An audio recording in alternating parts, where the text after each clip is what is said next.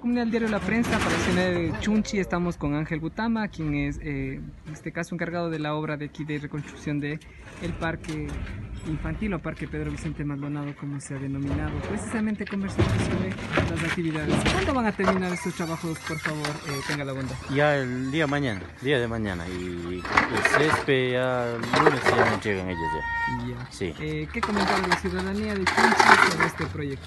Ah, sí, bueno, eso quiere por el polvo, todo, pero están contentos más que todos los niños.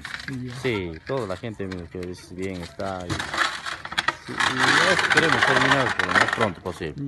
Muchas gracias.